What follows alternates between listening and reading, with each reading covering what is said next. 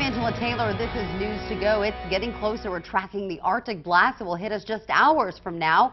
Here's what we know tonight about the winter blast. The cool down will start tomorrow morning and will stay cold the rest of the week. The winter blast could also bring us a shot of sleet and snow this weekend.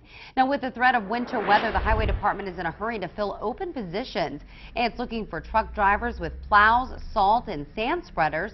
Here's a map showing you where those openings are and how many, according to their website.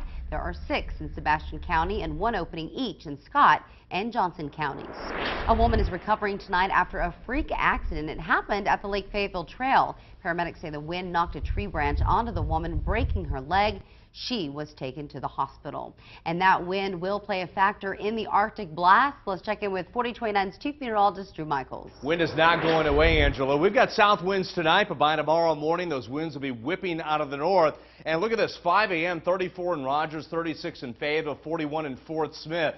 There are the winds, and we're talking 30s and 40s at 7 o'clock in the morning when the kids are getting ready to go uh, to school. Definitely want the warmer coat, the hat, and the gloves, and you'll need it for work as well. Temperatures remaining in the 30s and 40s all throughout the morning into the afternoon, and of course, with that north wind, even with that sunshine, it's going to feel colder, so you want to wear the layers all throughout the day.